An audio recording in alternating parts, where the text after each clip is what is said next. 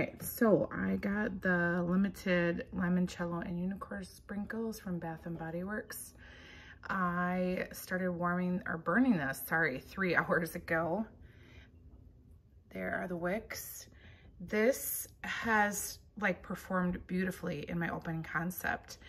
I, within half an hour of lighting this, it was so strong in here. It is still just doing so well.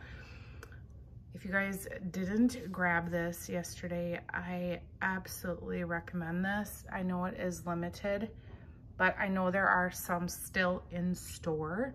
So if you haven't gone in, I would certainly go take a look. I'll be heading there within the next hour to see if there is any more. Again, here's that limited scent. I hope that you were able to snag one.